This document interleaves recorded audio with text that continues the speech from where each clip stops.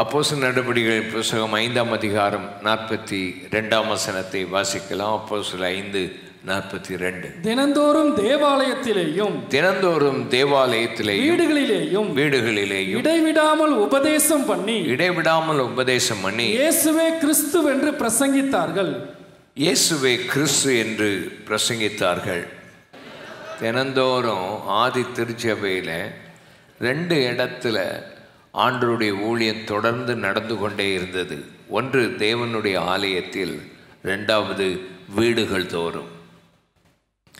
நம்முடைய தேசத்தின் எழுப்புதல் இந்த நாளில் வர வேண்டுமானால் நம்முடைய வீடுகளிலே ஒரு பெரிய மாற்றம் உண்டாக வேண்டும்.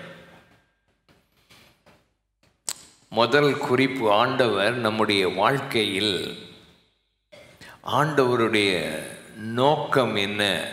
நம்முடைய வாழ்க்கையை குறித்து.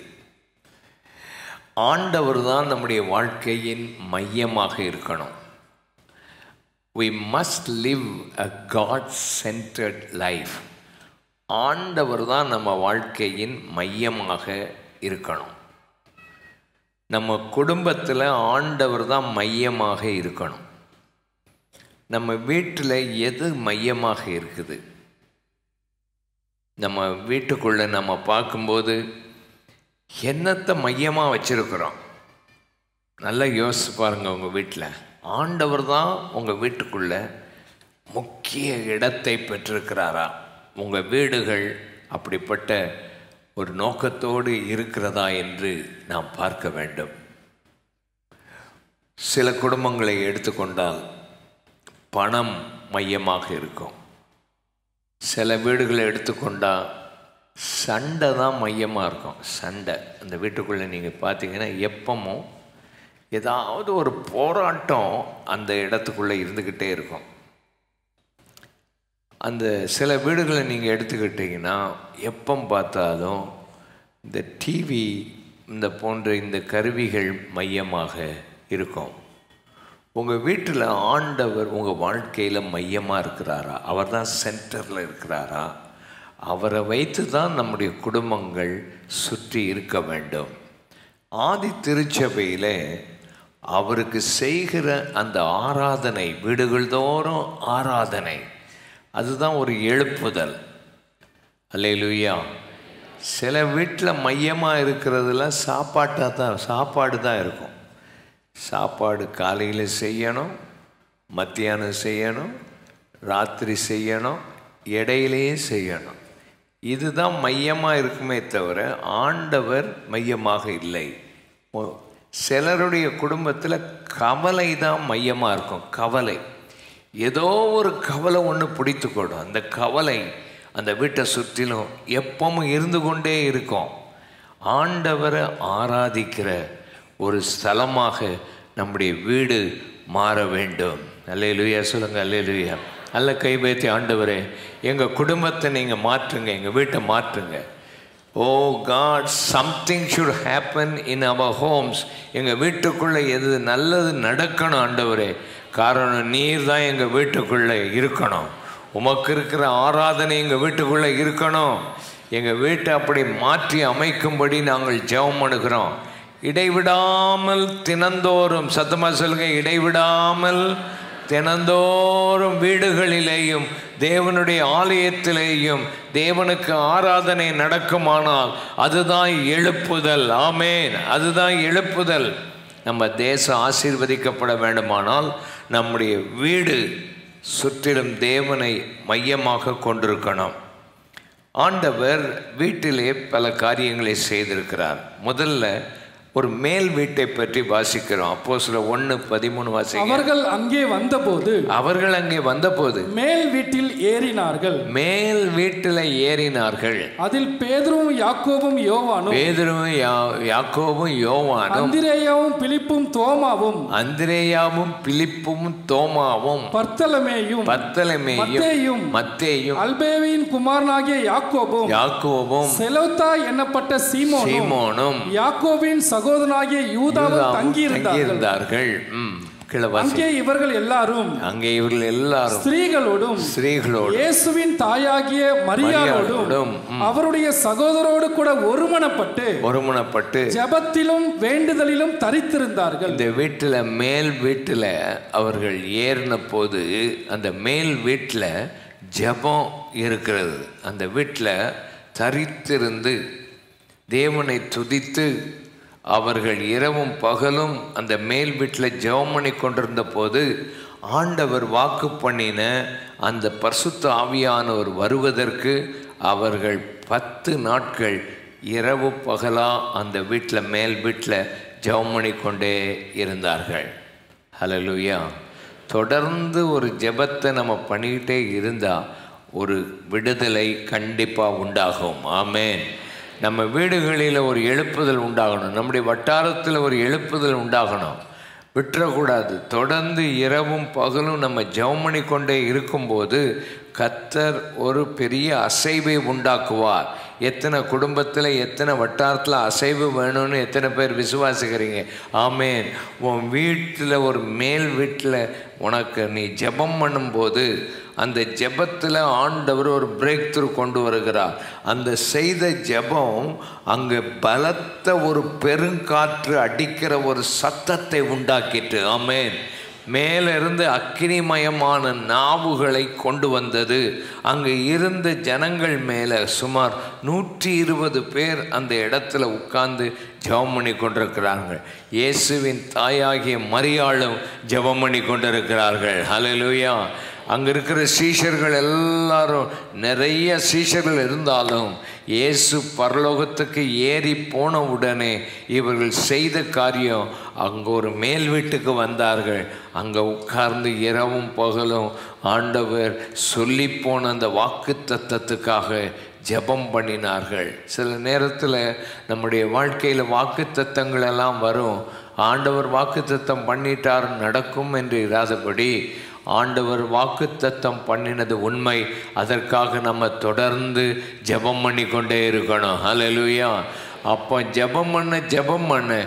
கத்தர் வானத்தை திறப்பார். பலத்த காற்றுகள் வரும். இடி முழக்கங்கள் வரும். அக்கினிமயமான நாவுகள் வரும். இப்படிப்பட்ட நல்ல அனுபவங்கள் நம்முடைய குடும்பங்களில் உண்டாகணும். எல்லாரும் கைவேற்றி இயேசுவே என் குடும்பத்தில் இந்த நாட்களில் இந்த காரியம் உமக்கு ஆராதனை பரிசுத்த ஆவியானவர் வருகிற கிரியைகள் அக்கினிமயமான நாவுகள் வருகிறது. என் வீட்டுக்குள்ளே வரணும் ஆண்டவரே. என் வீட்டுக்குள்ளே மையமாக இருக்கிறது நீராக இருக்கணும் ஒரு ஆராதனை என் வீட்டுக்குள்ளே வரணும்.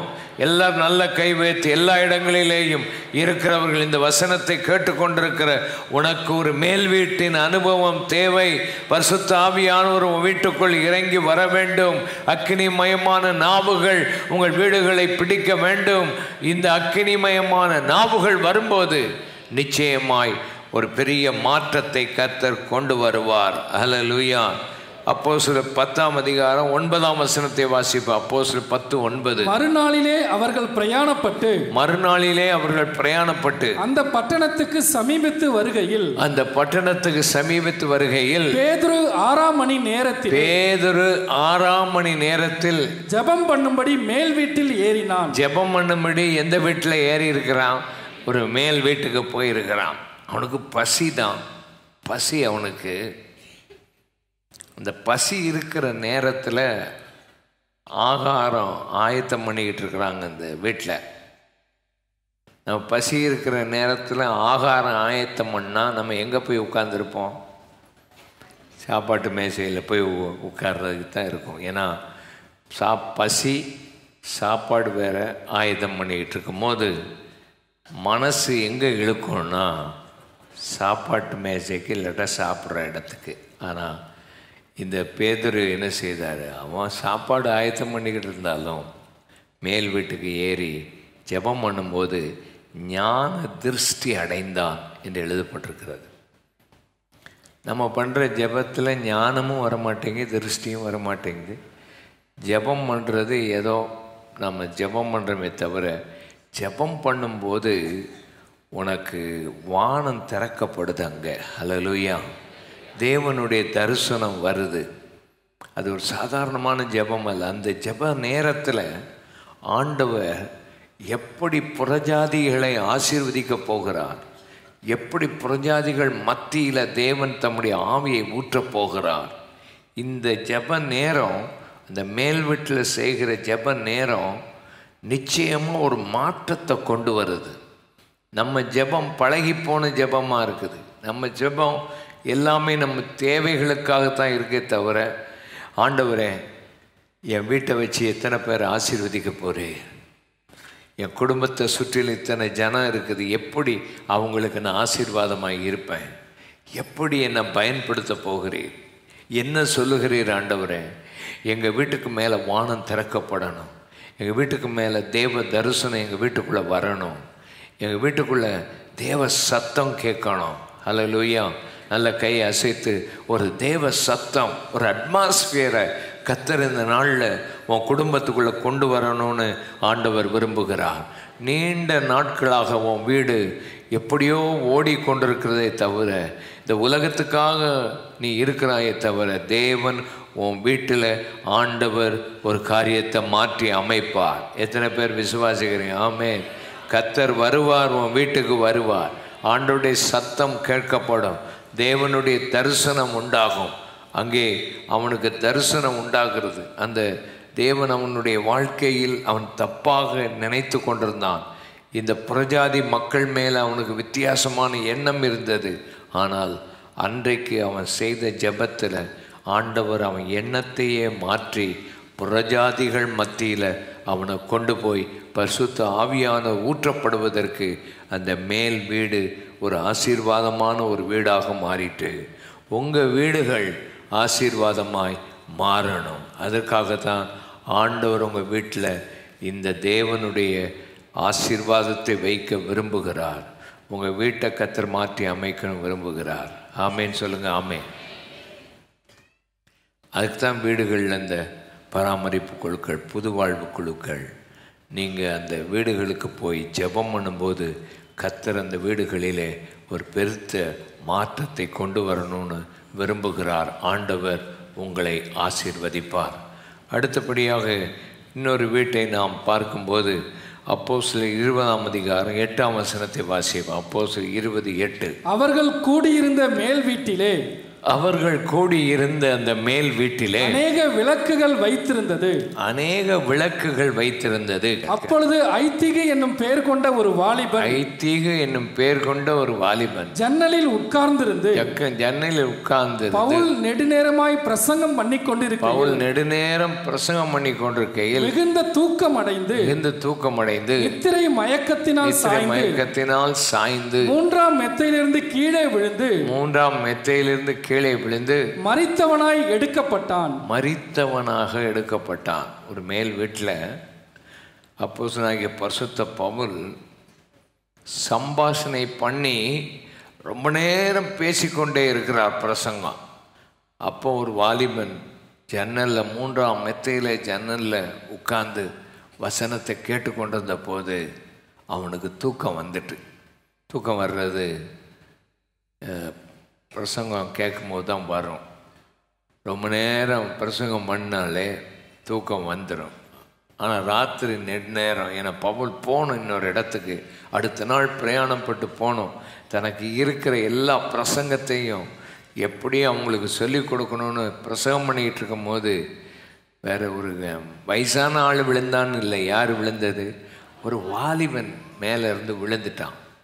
ஆனால் அந்த வீட்டில் அவன் மேலேருந்து விழுந்தாலும் ஆண்டவர் ஒரு பெரிய அற்புதத்தை செய்தார். ஆமே பவுல் இறங்கி போய் அவன் மேலே விழுந்து இவனுக்குள்ளே இந்த உயிர் இருக்கிறதுன்னு சொல்லி அவனை உயிரோடு எழுந்திருக்க பண்ணினார்.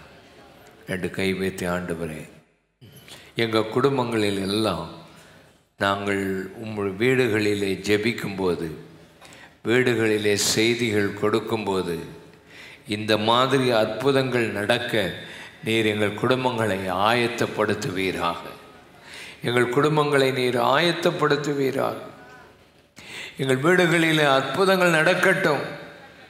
கைகளை சுற்றி நம்ம ஜெபம் பண்ணுவோம். இந்த வசனத்தை கேட்டுக்கொண்டிருக்கிற உங்கள் வீடுகளில் கத்தர் ஒரு மாற்றத்தை கொண்டு வரப்போகிறார். ஒரு எழுப்புதலை கொண்டு வரப்போகிறார். ஒரு மேல் வீட்டின் அனுபவங்களை கத்தர் தரப்போகிறார். கத்தாவே அங்கு துக்கமான சம்பவங்கள் நடந்தாலும் நீ கைவிட மாட்டேன். ஆண்டவர் அற்புதங்களை செய்வீராக.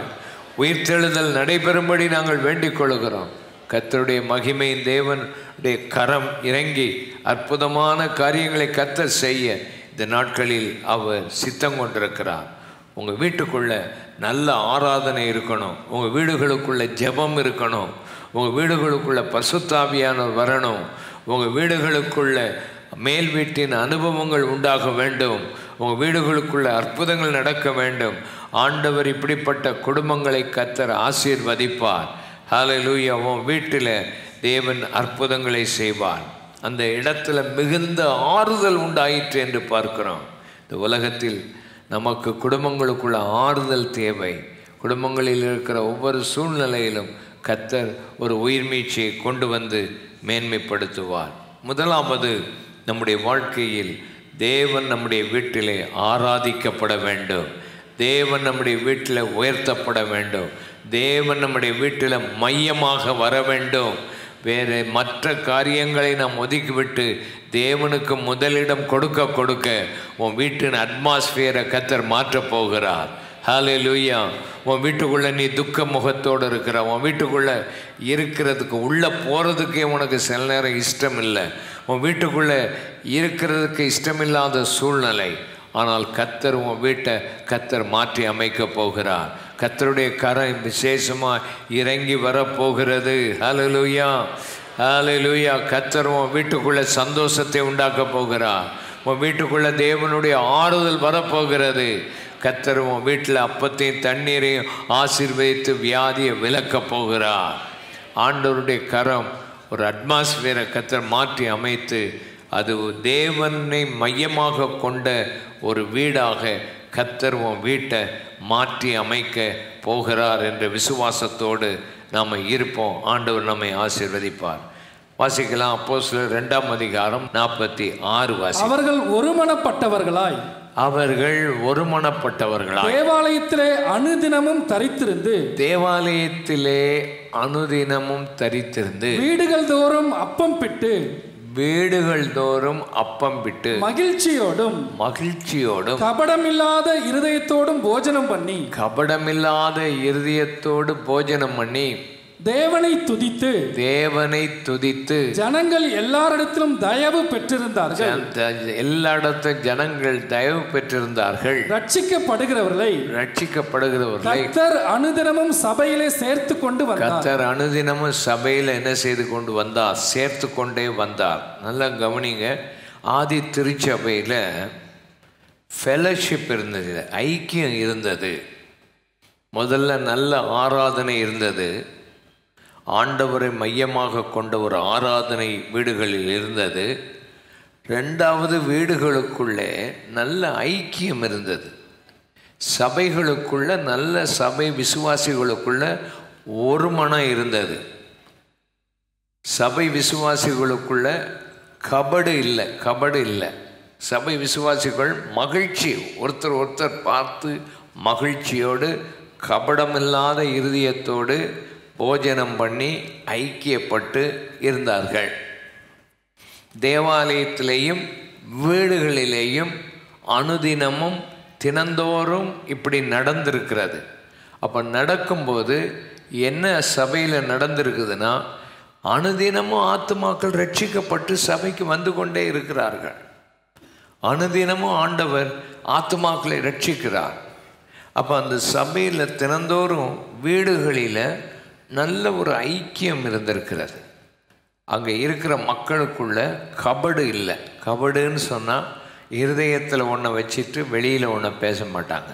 தோத்திரம் சிஸ்டர் அப்படின்னு வெளியில் பேசுகிறது உள்ள இந்த அம்மா ஏன் இன்னும் உயிரோடு இருக்குது அப்படின்னு நினைக்கக்கூடாது தோத்திரம் பிரதர் தோத்திரம் சிஸ்டர் அப்படிம்பாங்க. ரொம்ப சில நேரம் தோத்திரம் அப்படிம்பாங்க. அப்போவுமே பயமாக இருக்கும். இவங்க என்ன செய்ய போகிறாங்க என்ன நினைக்கிறாங்கன்னு நமக்கு தெரியாது. கபடு இல்லாத ஒரு இருதயம் நமக்கு வேணும். ஒரு ஒவ்வொரு ஆளையும் பார்க்கும்போது நம்ம பொறாமல் இருக்கக்கூடாது கபடு இருக்கக்கூடாது. நல்ல மகிழ்ச்சியாக இருக்கணும் ஒருத்தர் ஒருத்தர் பார்க்கும்போது.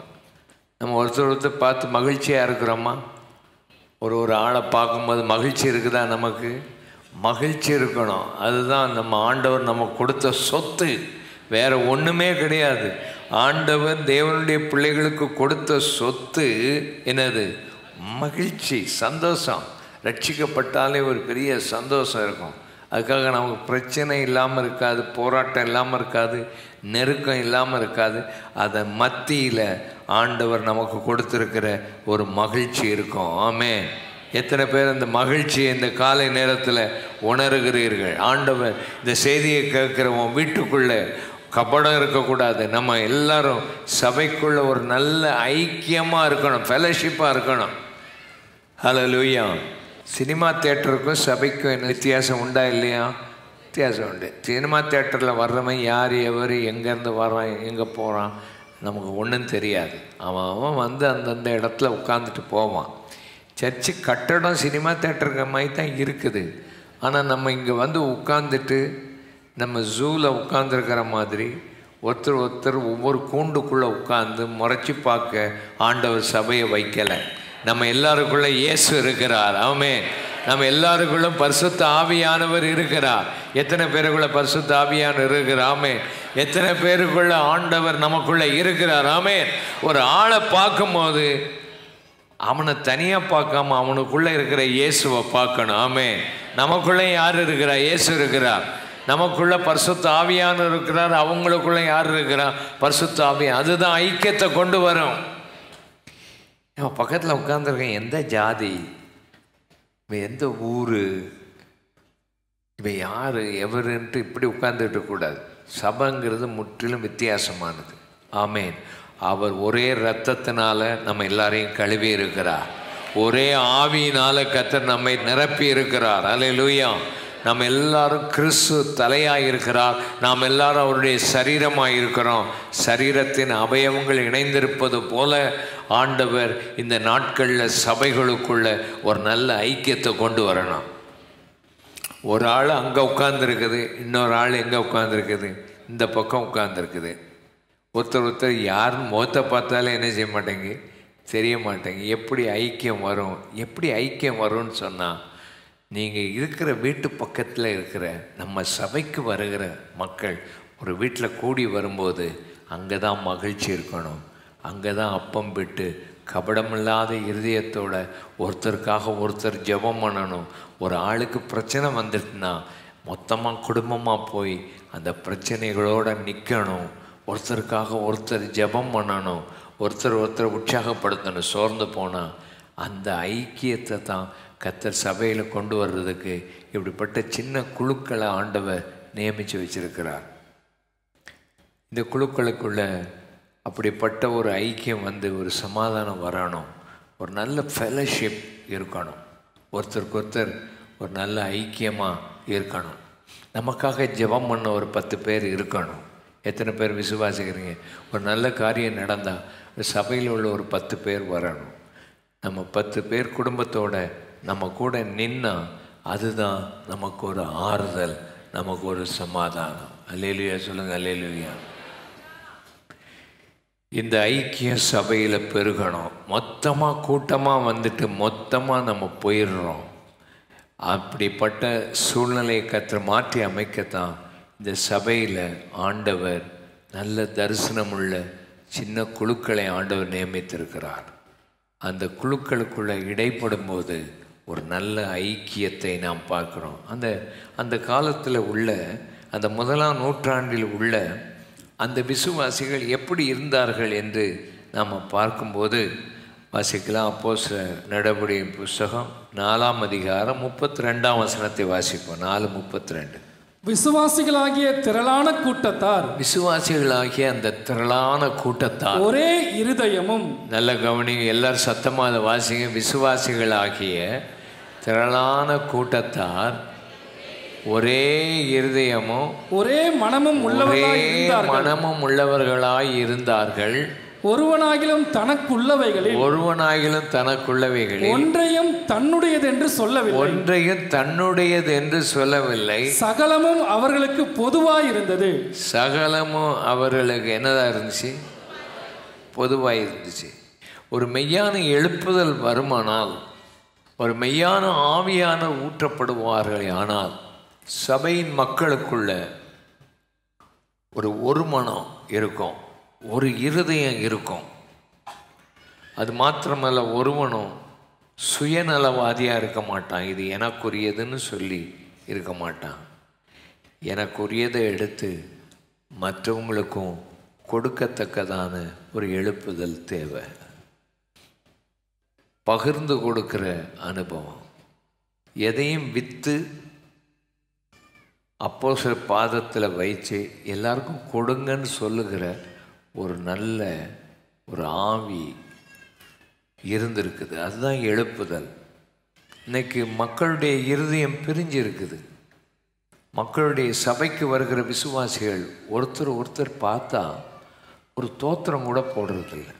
பக்கத்தில் வந்து உட்காந்தா தோத்திரம் சிஸ்டர் எப்படி இருக்கு? எத்தனை பேர் இன்னைக்கு இங்கே வந்து உட்காந்து பக்கத்தில் உள்ளவங்கள பார்த்து தோத்திரம் போட்டீங்க?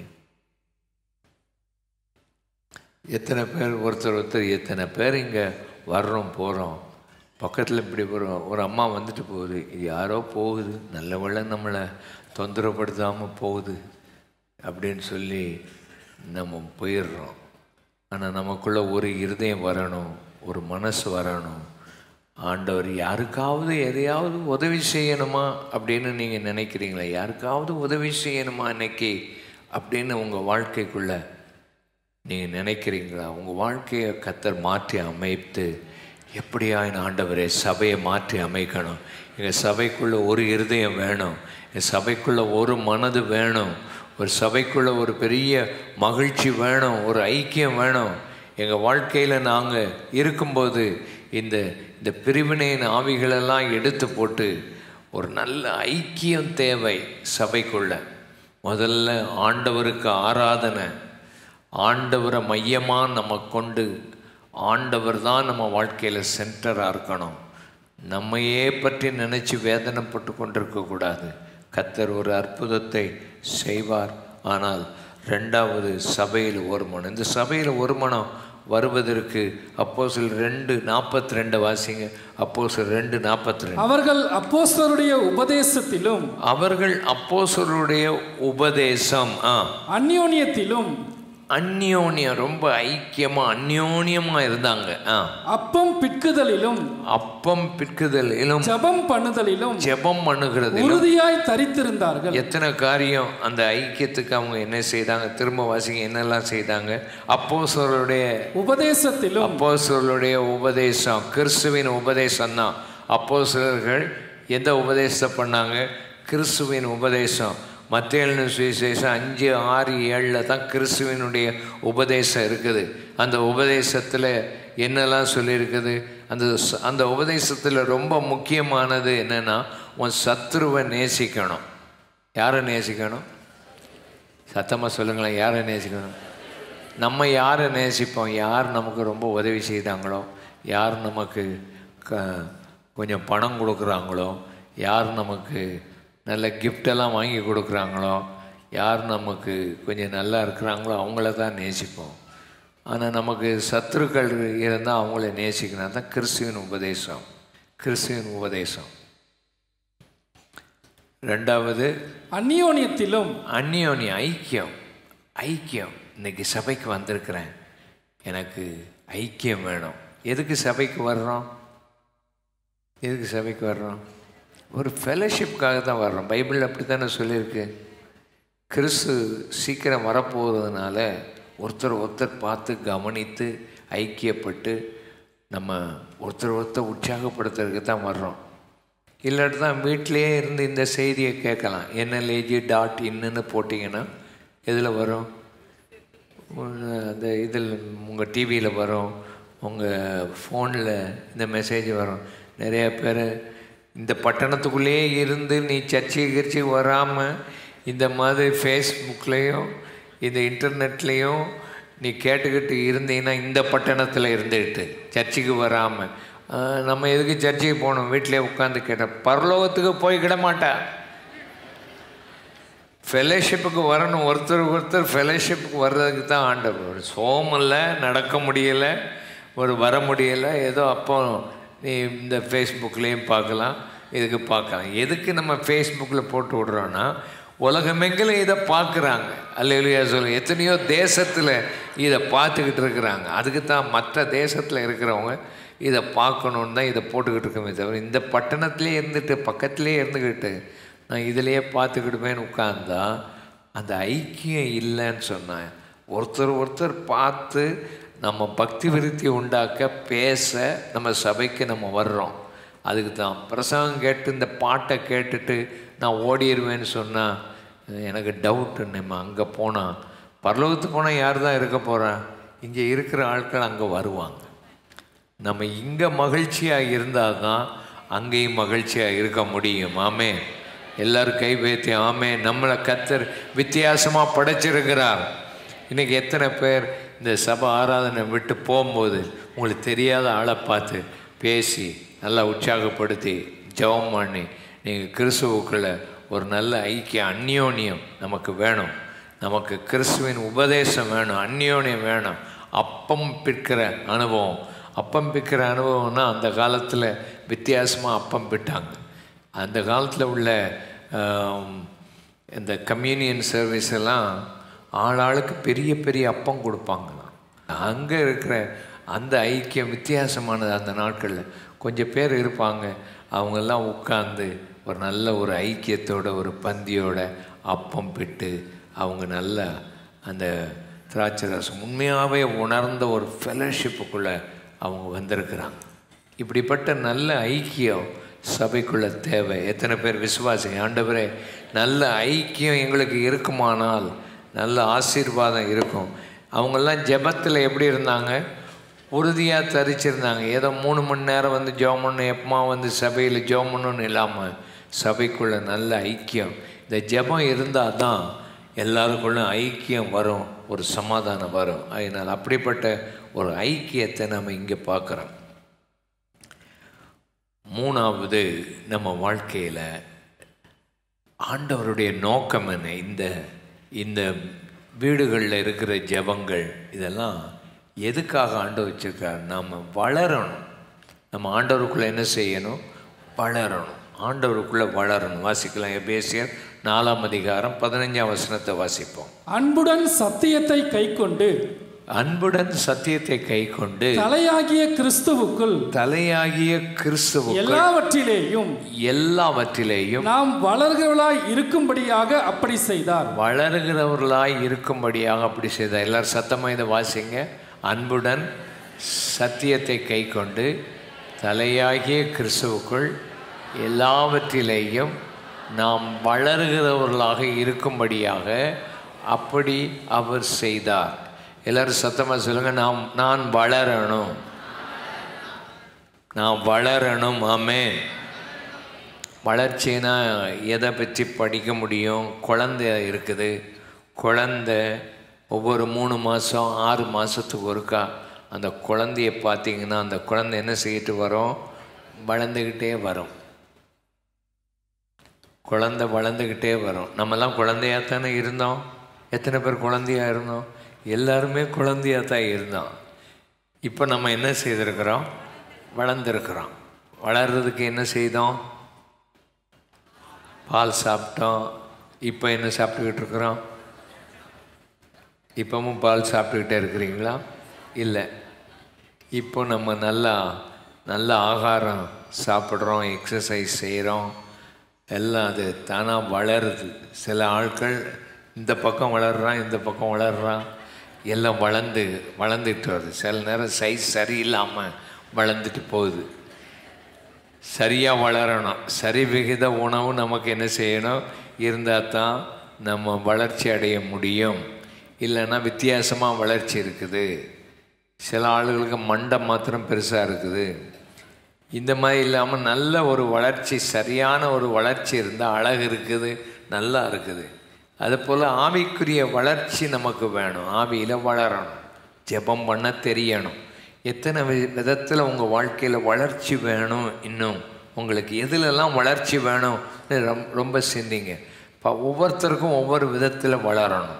எத்தனை பேருக்கு ஜெப வாழ்க்கையில் வளரணும்னு விருப்பம் இருக்குது? ஜெப வாழ்க்கையில் நீங்கள் வளரணும். ஹalleluya ஞாயிற்றுக்கிழமை மாத்திரம் வந்துட்டு போனால் வளர்ச்சி வருமா?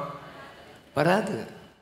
ஞாயிற்றுக்கிழமை நீங்கள் கேட்குற பிரசங்கம் இருக்கு பாருங்கள் இந்த இதுக்கு விட்டு வெளியே போன உடனே பிசாஸ் வந்துடுவான் பல காரியத்தை கொண்டு நெருக்கி அதை எடுத்துருவான். அடுத்த வாரம் வரும்போதே என்ன பிரசங்கம் பண்ணார்னே தெரியாமல் போகும். அதுக்கு தான் இட நாட்களில் நம்ம கூடி ஆண்டருடைய வார்த்தையை படிக்கிறதுல வளரணும். எத்தனை பேர் ஆண்டருடைய வசனத்தை கேட்டு வசனத்தை படிக்கிறதுல வளரணும்னு விரும்புகிறீங்க கைவேற்றி கத்துற துதிப்போம். வசனத்தில் நீங்கள் வளரணும். ஆமேன். வரங்களில் நீங்கள் என்ன செய்யணும்? வளரணும். வளரணும். வசனத்தில் வளரணும். நீங்கள் நீங்கள் வரங்களில் வளரணும். அதெல்லாம் செய்யணும். எத்தனை பேருக்கு வரம் எனக்கு வேணும்யா அப்படின்னு விரும்புகிறீங்க கை வைத்து வரம் வேணும். நல்ல ம மற்ற மக்களுக்கு ஆசீர்வாதமாக இருக்கிறதுக்கு எனக்கு ஒரு வரம் வேணும் ஆண்டவரே. எத்தனை பேர் கேட்குறீங்க என்ன வரம் உங்களுக்கு வேணும்னு கேட்ட ஆண்டவர் அந்த வரங்களை பகிர்ந்து கொடுக்கறதுக்கு ஆண்டவர் வல்லமை உடையவர் எத்தனை பேர் விசுவாசிக்கிறீங்க? அல்லேலுயா சொல்லுங்கள் அல்லேலுயா ஆமேன். எனக்கு மிந்தி பிரசங்கம் பண்ணக்கூட தெரியாது. பிரசங்கம் பண்ணணுனாலே இப்படி புல்பிட்டை பிடிச்சாலே புல்பிட்டை ஆடும். ஏன்னா அவ்வளோ பயமாக இருக்கும். புல்பிட்டை பிடிச்சா பயமாக இருக்கும். ஆனால் ஆண்டவர் அதுக்கு ஜெபம் பண்ணணும். கிருபை கொடுக்கணும். ப்ராக்டிஸ் பண்ணணும். நாம் நாம் பிரசங்கம் பண்ண படித்தது எங்கன்னு சொன்னால் தேரி காடு மணல் காடு இருக்கும். அங்கே பனைமரமாக நிற்கும். இந்த பனைமரத்துக்கிட்ட போய் பேசி பிரசங்கம் பண்ணுறது அப் அந்த பனைமரம் நம்மளை பார்த்து ஒன்றும் கேட்காது. பிரசங்கம் பண்ணுறது போய் பிரசங்கம் பண்ணி படித்து வளர்ந்து இன்னைக்கு உலகம் எங்கெல்லாம் போகிற ஆண்டு கிருப கொடுத்துருக்காங்க கை வைத்து கத்துற துதிப்பாமை. அருமையானவர்களே ஆண்டவர் உங்களை வளர வைப்பார். ஹalleluya. எனக்கு பிரசங்கம் பண்ண தெரியும் பிறகு வியாதியர்களுக்கு ஜோம் பண்ண தெரியாது. படித்தேன் அது என் ஃப்ரெண்ட்ஸ் என்னை உற்சாகப்படுத்தி விட்டாங்க. ஜெபம் பண்ணேன் எப்படியாவது வியாதியர்களுக்கு ஜெபம் பண்ணேன் நான் ஒரு தடவை பயந்து போய் ஜெபம் பண்ணேன் உத்தமபாளையங்கிற ஒரு இடத்துல ஐம்பது பேர் இந்த கூட்டத்தில் பேசிக்கிட்டு இருந்தேன். ஒரு கால் நடக்க முடியாத ஒரு அம்மா கால் கோணிக்கிட்டு இருந்த அம்மா வந்தாங்க. நான் ஜெபம் பண்ண ஆண்டவரை அற்புதம் செய்யணும். அந்த கால் சரியாயிட்டு. அந்த கால் நேரம் ஆயிட்டு அந்த அம்மா அந்த கிராமத்துக்கு போன போது எல்லாரும் பார்த்து இவன் இத்தனை வருஷமாக இந்த கிராமத்தில் கால் கோணி நடந்தது. இப்போ நேராக நடக்குதுன்னு. அந்த நாளில் ரெண்டாயிரம் பேர் கூட்டத்துக்கு வந்தாங்க அந்த நாளில் உன் வாழ்க்கையில் ஆண்டவர் உன்னை கொண்டு பெரிய காரியங்களை செய்வார். வளரணும். அல்லையில எத்தனை பேர் வளரணும்னு விசுவாசிக்கிறேன் வளரணும். அது உங்களுக்கு ஆண்டவர் உள்ள வரங்களை வச்சிருக்கிறார். உள்ள உங்களுக்கு கனி நிறைந்த வாழ்க்கை வச்சிருக்கிறார். இந்த வேதத்தை படித்து வளரணும். இந்த வார்த்தைகள் உங்களுக்கு தெரியணும். ஆமேன். ஏற்ற நேரத்தில் ஏற்ற வார்த்தையை நீங்கள் கொடுத்தா தான் பிசாசு நடுங்குவான். ஆமே இந்த வேத வசனத்தில் நீங்கள் வளரணும். அந்த வளர்றதுக்கு தான் மற்ற இட நாட்களில் இந்த சின்ன குழுக்களில் நீங்கள் போய் படித்து பேசி ஒருத்தருக்கு ஒருத்தர் பேசி வசனங்களை கற்றுக்கொண்டு அந்த புஸ்தகங்களெல்லாம் படித்து உங்களுக்குள்ளே வளர்றதுக்கு ஆண்டவர் கிருபையை கொடுக்குறார். இந்த இந்த மாதிரி காரியங்களை நம்ம செய்து வளரணும். அங்கே வர்ற மக்களுக்கு நம்ம ஜெபம் பண்ணணும். ஆகையினால இந்த உலகத்தில் நம்ம குழந்தைகளாக இருக்கக்கூடாது. எபேசியர் நாலு பதினாறு வாசிப்போம். நாம் இனி குழந்தைகளாய் இராமல். நாம் இனி எப்படி இருக்கக்கூடாது? குழந்தைகள்னா அர்த்தம் என்ன? குழந்தைகள்னா அர்த்தம் என்ன? இப்போ அந்த அந்த ஒரு குழந்தை அங்கே இருக்குது. அந்த அப்பா பிடிச்சிக்கிட்டே நிற்க வேண்டியிருக்கு. அந்த குழந்தை அதை பிடிக்கணும். அந்த குழந்தைய அதுக்கு பராமரிக்கணும். அந்த குழந்தைய தூக்கணும். இன்னும் சில ஆட்கள் எங்களை வந்து யாருமே விசிட் பண்ண மாட்டேங்காங்க. எங்களுக்கு யாருமே ஜாம் பண்ண மாட்டேங்காங்க. நாங்கள் ஆஸ்பத்திரிக்கு போனோம். ஒருத்தரும் எங்களுக்கு ஆரஞ்சு பழம் வாங்கிட்டு வரல. இந்த மாதிரி தான் இருக்கிறோமே தவிர நம்ம வளர்ந்து நமக்கு பிரச்சனை வரும்போது நாமே அதை பார்த்து குழந்தைக்கு தான் யாராவது உதவி செய்யணும். யாராவது வந்து பார்க்கணும். அந்த குழந்தைய கண் மேலே வச்சு பார்த்துக்கிட்டே இருக்கணும். புதுசாக வருகிற விசுவாசிகளை நம்ம கவனிக்கணும். ஆனால் நல்ல முதிர்ந்த விசுவாசிகள் மற்றவங்களுக்கு ஆசீர்வாதமாக இருக்கணும். வளரணும். ஹalleluya. நம்ம குழந்தைகளை போல் இருக்கக்கூடாது. குழந்தைகள் எப்போ மற்றவங்களையே சார்ந்து இருப்பாங்க குழந்தைகளுக்கு ஆகாரம் கொடுத்துக்கிட்டே இருக்கணும். அவங்களுக்கு சட்டையை மாட்டணும். அவங்கள குளிப்பாட்டணும். அவங்கள ஸ்கூலுக்கு கொண்டு போகிறதுக்கு பேக்கை தூக்கிட்டு போகணும். இதெல்லாம் குழந்தைகளை பராமரிக்கிற அனுபவம். நம்ம வளர்ந்துட்டோம்னா நம்ம அதை எதிர்பார்த்து கொண்டிருக்கிறத நம்ம மற்றவங்களுக்கு உதவி செய்ய கத்த நம்மை அழைத்திருக்கிறார். அல்லையிலையா சொல்லுங்களேன். எல்லாரும் ஒரு அல்லையிலையா சொல்லுங்கள் ஆமேன். நாம் வளர்ந்த ஒரு விசுவாசியாக மாறணும். எல்லாரும் ஆமேன் சொல்லுங்கள் ஆமேன். நல்ல ஒரு வளர்ந்த விசுவாசியாக நாம் மாறணும் வளரணும். நான் சொல்லுங்கள் சத்தமாக வளருங்க. கிருபையில் வளரணும். எதில் வளரணும்? ஞானத்தில் வளரணும். ஆமேன். எனக்கு ஞானம் ஞானத்தில் வளர்ச்சி வேணும். எனக்கு கிருபையில் வளர்ச்சி வேணும். விசுவாசத்தில் வளர்ச்சி வேணும். அல்லையா சொல்லுங்க. விசுவாசத்தில் வளரணும். கடுகு அளவு விசுவாசம். இருந்தாலே பெரிய காரியத்தை செய்ய முடியும். உன் விசுவாசத்தில் வளரணும். அப்போ சொன்னார்கள் எங்கள் விசுவாசம் வளர்ச்சி அடையணும். விசுவாசத்தில் வளரணும். ஜெபத்தில் வளரணும். வேத வாக்கியத்தில் வசனத்தில் வளரணும். நம்ம அன்பில் வளரணும். அன்பு நமக்கு தாராளமாக ஆண்டவர் ஊற்றணும் அன்பில் வளரணும். அன்பு இருக்குதா? அன்பு மற்றவங்க மேலே உண்மையான அன்பு இருக்குதா என்று பார்க்கணும். நாலாம் அதிகாரம் எபேச நாலு பதினாறு வாசிங்க. நாலு பதினாறு. அவராலே சரீரம் முழுவதும் அவராலே சரீரம் முழுவதும் அதற்கு உதவியாயிருக்கிற சகல கணுக்களினாலும் இசைவாய் கூட்டி இணைக்கப்பட்டு இணைக்கப்பட்டு ஒவ்வொரு அவயவமும் ஒவ்வொரு அவயவமும் தன் தன் அளவுக்கு தக்கதாய் தன் அளவுக்கு தக்கதாய் கிரியை செய்கிறபடியே அது அன்பினாலே தனக்கு பக்தி விருத்தி உண்டாகிறதுக்கு ஏதுவாக ஏதுவாக சரீர வளர்ச்சியை உண்டாக்குகிறது. சரீர வளர்ச்சியை உண்டாக்குது. எப்படி? சரீர வளர்ச்சி எப்படி வருது? தலையோட மற்ற அவயவங்களெல்லாம் என்ன செய்யப்பட்டிருக்கு? இணைக்கப்பட்டிருக்கிறது. கணுக்கள் இருக்கிறது. கணுக்கள் இருக்குது. இந்த கணுக்கள் எல்லாம் ஒன்றுக்கு ஒன்று இணைஞ்சிருக்குது. இந்த ஒரு கையில் மாத்திரம் எத்தனை இணைப்பு இருக்குது தெரியுமா? இந்த ஒரு கையில் மாத்திரம் எத்தனை இணைப்பு இருக்குது தெரியுமா? உங்களை பற்றி உங்களுக்கு தெரியாது. எத்தனை இணைப்பு இருக்குது மூணா? மூணா இருக்குது ஒரு கையில் மாத்திரம் எத்தனை இணைப்பு இருக்குது? கணக்குகள் ஆ? எத்தனை இருக்குது பதினேழு இணைப்பு இருக்குது இதில் எத்தனை இணைப்பு இருக்குது? பதினேழு இணைப்பு இருக்குது. இதில் மாத்திரம் இது ஒன்று ஒன்று இந்த இப்படி இப்படி மடங்கும். வாதம் வந்துட்டுனா இது மடங்காது இது மடங்குது இங்கே ஒன்று மடங்குது. இதுலேயே மூணு இருக்குது. சரியா? மூணு நாலு மூணு பன்னெண்டு. இதில் ரெண்டு தான் இருக்குது பெருவரில் பன்னெண்டு ரெண்டும் பதினாலு. இது ஒன்று பதினஞ்சு. இது ஒன்று பதினாறு. இது ஒன்று பதினேழு. பதினேழு இணைப்பு இருந்தால் தான் இந்த கை ஒழுங்காக வேலை செய்யும். அல்லேலுயா சொல்லுங்கள் அல்லேலுயா. நம்ம கிறிஸ்துவோடு இணைக்கப்பட்டு நம்ம எல்லாரும் இணைக்கப்பட்டால் தான் சரீரம் வளர்ச்சி வரும். கை வைத்து கத்துற துதிப்போம். நிறைய பக்கவாதம் வந்த விசுவாசி தான் சபையில் இருக்குது. வேலை செய்ய மாட்டேங்குது. ஒன்றுக்கு ஒன்று ஒத்து போக மாட்டேங்குது. எப்படி இந்த அவயவங்கள் இணைஞ்சு செயல்படுதோ அப்படி இணைஞ்சு செயல்பட்டால் தான் சரீரத்தில் வளர்ச்சி வரும். இல்லாட்டா முடங்கி போய் இருக்குது நல்ல எல்லாரும் நல்ல இணைஞ்சு சபைக்கு வளர்ச்சி உண்டாக கிறிஸ்துவோடு இணைந்து ஐக்கியப்பட்டு ஒரே தரிசனத்தை நிறைவேற்ற சபையில் ஒரு நல்ல ஐக்கியமும் வளர்ச்சியும் தேவை. ஹலலுயா நல்ல கைவேத்தி ஆண்டவரே இன்றைக்கு நீர் எங்களோட பேசினீர். நல்ல ஒரு ஆராதனை கிறிஸ்து மையமாக கொண்ட ஒரு சபையாக இருக்க உதவி செய்யும்.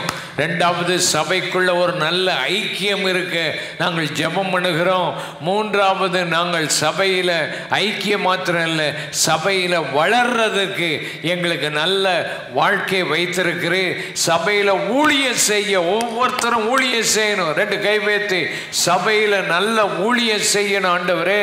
சபையில் நாங்கள் ஒவ்வொருத்தரும் உங்களுடைய உயிர்த்தெழுதலுக்கு சாட்சியாக இருக்கணும் கை வைத்து அந்த அபிஷேகத்தை கத்தர் நமக்கு தருவாராக.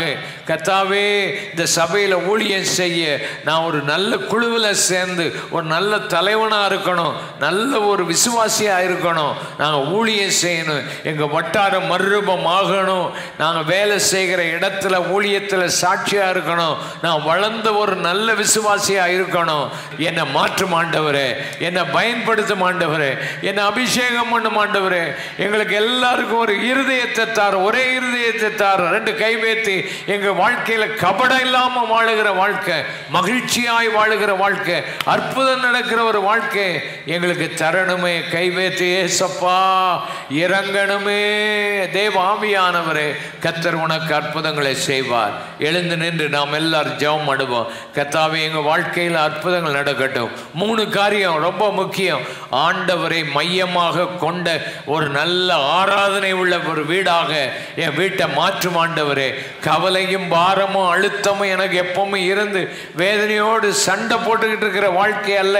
எங்கள் வீடு கை ஆண்டவரே எப்பவும் ஒருத்தர் ஒருத்தர் குற்றம் சொல்லி குறை சொல்லி பிசாசை எங்கள் வீடுகளுக்குள்ள அனுமதிக்க மாட்டோம். எங்கள் வீட்டுக்குள்ள நல்ல தேவனே மையமாக இருக்கணும். ரெண்டாவது எங்கள் வீட்டுக்குள்ள நல்ல ஐக்கியம் சபைக்குள்ள நல்ல ஐக்கியத்தை தாங்க ஆண்டவரே. ஐயா எங்கள் வீடு அப்படிப்பட்ட ஒரு வீடாக இருக்கணும். நாங்கள் நல்ல இந்த மாதிரி சின்ன குழுக்களில் சேர்ந்து எங்கள் வீடு மேல் வீடான ஒரு அனுபவத்தை எங்களுக்கு தாங்க ஆண்டவரே. நான் ஊழியம் செய்ய வாஞ்சிக்கிறேன். நான் குழு சபையில் நல்ல ஐக்கியப்பட்டு இப்படிப்பட்ட கிருபைக்குள்ளே வளரணும்னு விரும்புகிறேன். எனக்காக ஜோமனுங்க சொல்கிறவங்க நான் வளரணும் நல்ல ஒரு ஐக்கியமாக இருக்கணும். ஆண்டவரை மையமாக கொண்ட என் வீடாக மாறணும். எனக்காக ஜெபம் பண்ணு சொல்கிறவங்க கை வைத்து காண்பீங்கள் உங்களுக்காக ஜெபம் பண்ணுவோம். யாராவது இந்த சின்ன பராமரிப்பு குழுவில் சேரணும்னு சொன்னால் நீங்கள் ஒப்பு கொடுத்து வாங்க. உங்களுக்காக ஜெபம் பண்ணுவோம். கத்தர் உங்களை ஆசீர்வதிப்பார். உங்கள் வீடுகளை ஆண்டவர் ஊழியத்துக்கு திறக்கணும்னா நீங்கள் முன்னால் வந்து ஜெபம் பண்ணுங்க. ஒப்பு கொடுங்க. ஆண்டவர் உங்களை ஆசிர்வதிப்பார். என் ஆத்மாவே கத்தரை ஸ்தோத்ரி என் முழு உள்ளமே பரிசுத்த நாமத்தை ஸ்தோத்திரி. என் ஆத்மாவே கத்திரை ஸ்தோத்திரி. அவர் செய்த சகல உபகாரம் மறவாதே. நம்முடைய கத்திராக்கிய இயேசு கிருஷ்ணனுடைய கிருபை பிதாவாகி தேவனுடைய அன்பு பரிசுத்த ஆவியானுடைய அந்யோனி ஐக்கிய சமாதான சுகம் இப்பொழுது எப்பொழுதும் நம் அனைவரோடு கூட என்றைக்கு இருப்பதாக. ஆமை புது வாழ்வு ஏஜி சபையின் ஆராதனை நேரங்கள். தமிழ் ஆராதனை ஞாயிற்றுக்கிழமை முதல் ஆராதனை காலை ஐந்து மணிக்கும் இரண்டாம் ஆராதனை காலை ஏழு மணிக்கும் மூன்றாம் ஆராதனை காலை எட்டு நாற்பத்தி ஐந்துக்கும் நான்காம் ஆராதனை காலை பத்து முப்பது மணிக்கும் ஐந்தாம் ஆராதனை மதியம் பனிரெண்டு மணிக்கும் மாலை ஆராதனை ஆறு மணிக்கும் நடைபெறும். ஆங்கில ஆராதனை முதல் ஆராதனை காலை ஆறு முப்பதுக்கும் இரண்டாம் ஆராதனை காலை எட்டு பதினைந்துக்கும் மூன்றாம் ஆராதனை காலை பத்து மணிக்கும் நான்காம் ஆராதனை காலை பதினொன்று நாற்பத்தி ஐந்து மணிக்கும் மாலை ஆராதனை நான்கு முப்பது மணிக்கும் நடைபெறும். சிறுவருக்கான ஆராதனை அனைத்து ஆராதனை நேரங்களிலும் நடைபெறும்.